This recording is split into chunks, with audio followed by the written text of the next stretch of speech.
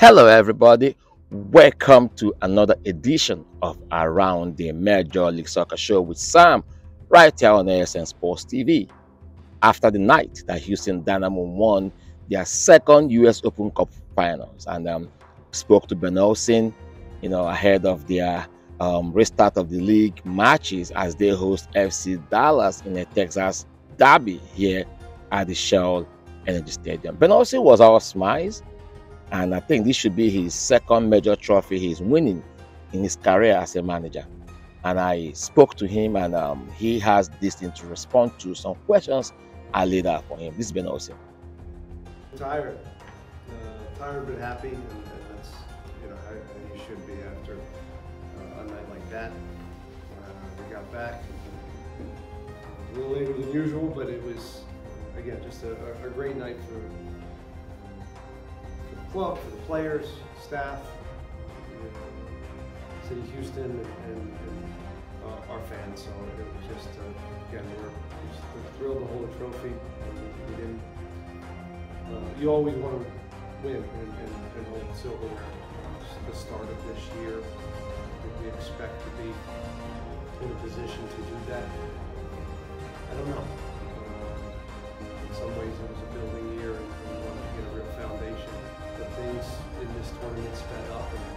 Opportunity to uh, win and, and uh, kind of push this process to, to go a little faster. And uh, again, we're just thrilled to do that and uh, get, a little, get a little publicity and some, some good press around the club.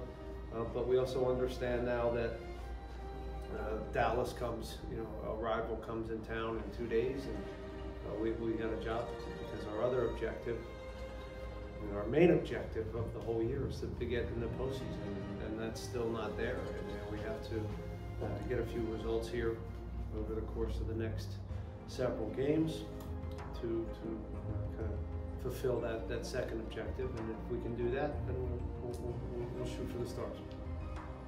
Ivan, um, Sam here. Congratulations. Thank you. Uh, the last time we spoke, you said you won't put yourself at the back because you know, when you've done something, getting a trophy second objective, making the playoff. Now, having won this um, trophy, I saw the excitement celebration. How do you plan to keep the team focused or bring them back to the second objective of business in Dallas? Yeah, we have we have no choice, and that, that's a good thing, right? If, if we had points in the bag and, and we had some time to uh, relax, uh, that would be a, a different scenario we really have no choice but to enjoy it last night and this morning, and then tomorrow it's back to work. We focus fully on Dallas and try to get into the. We still want to win at home. We still think we can put a, a, a team together with the right energy, but it's going to take a lot of players to, uh, to handle that. We put a lot into the last game.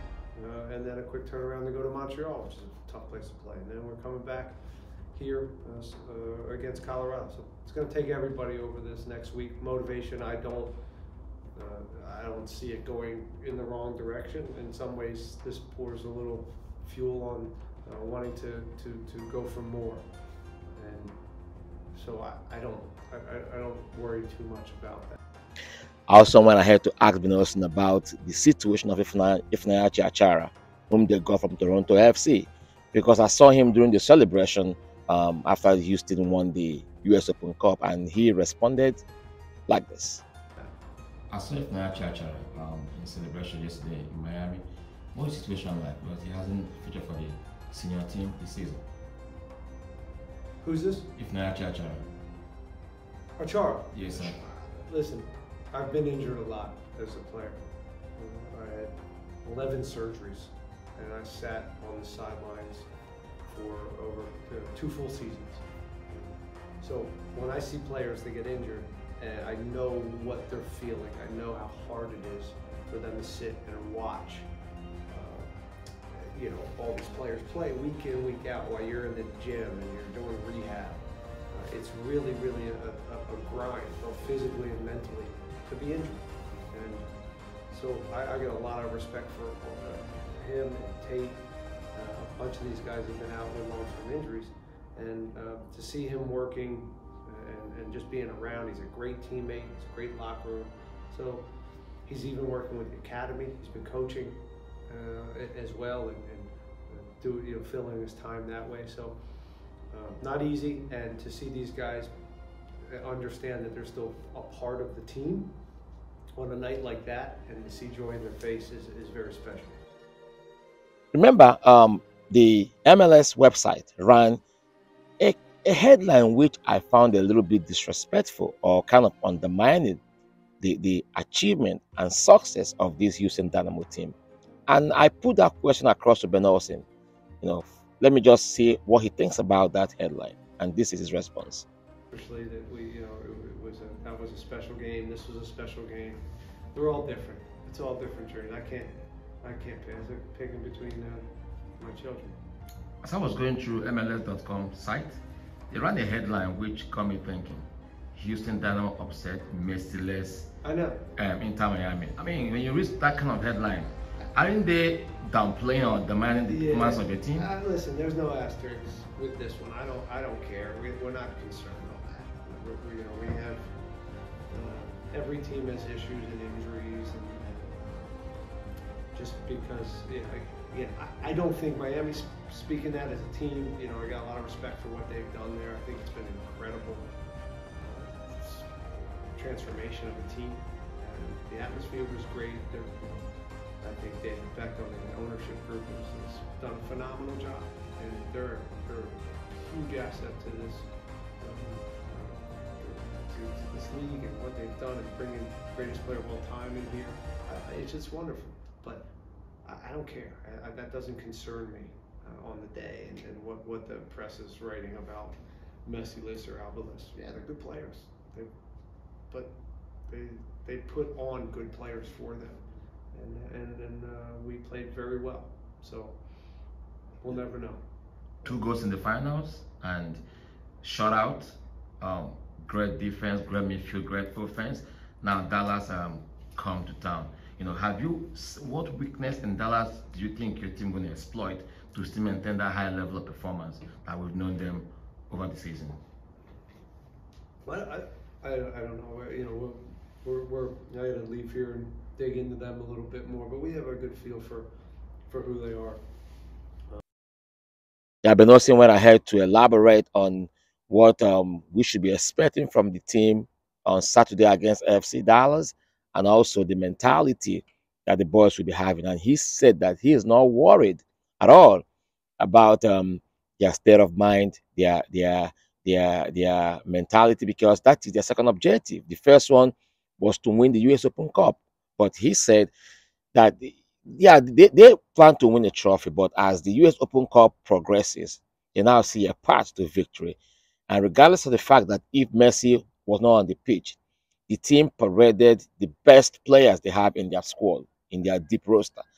And he spoke about Josef Martinez, an MLS veteran from Atlanta United. Remember him? He even got a goal against Dynamo. Their only goal was gotten by Martinez, and other great players played that night. So it wasn't all about Messi not playing. It's about the team parading uh, um, um, great players they have deep on their roster. And at the end of the day, Houston Dynamo came out 2-1 victorious, and it is what it is. They are champions, regardless of what headline MLS.com casted. It will no way diminish the performance or the achievement of this team.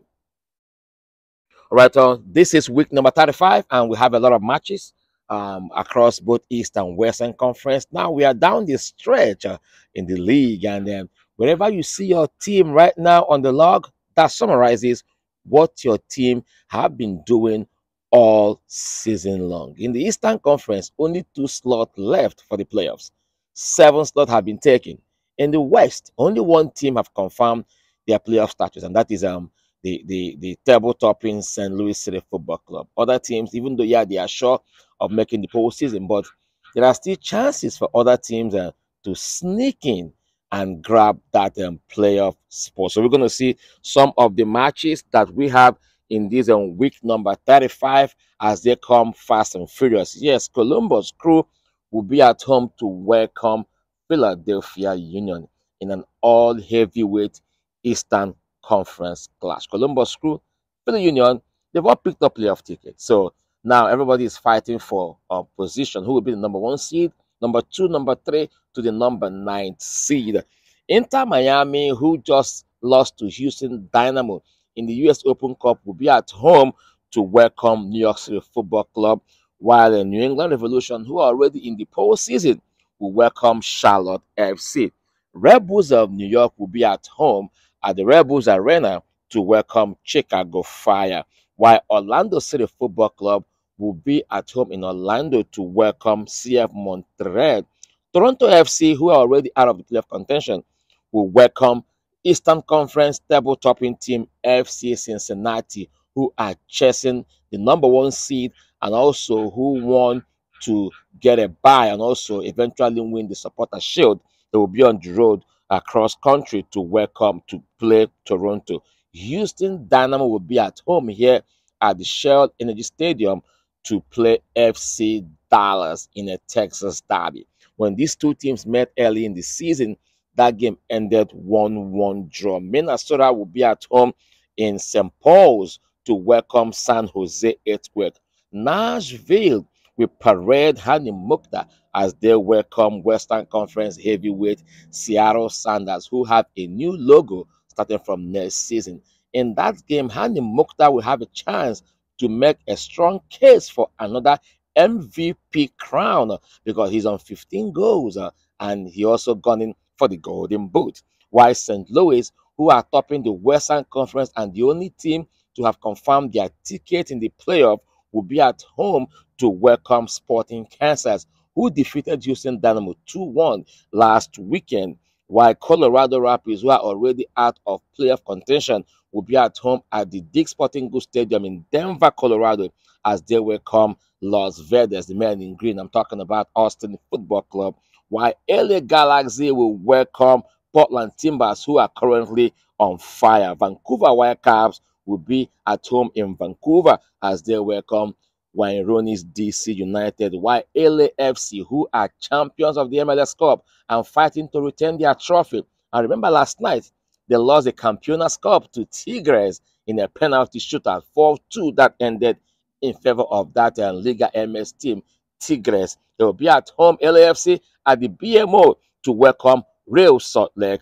While, um, yes, uh, those are the games in both East and Western Conference as the season angles towards the home stretch. Who will be in? Who will be out? I believe these weekend games in the um, in the Western Conference carries a huge playoff implications because any point drop, any point gain will position the team either in getting the position or, or in getting the playoff ticket. Because in the Western Conference, only St. Louis are confirmed for the playoff, while in the East, only two spots left. Who will be in? Who will be out? 90 minutes will tell us. And my name is Sam. Keep watching Around the MLS Show with Sam here on ASN Sports TV and follow me and subscribe to our YouTube channel as we bring to you the best MLS content. Thanks for watching.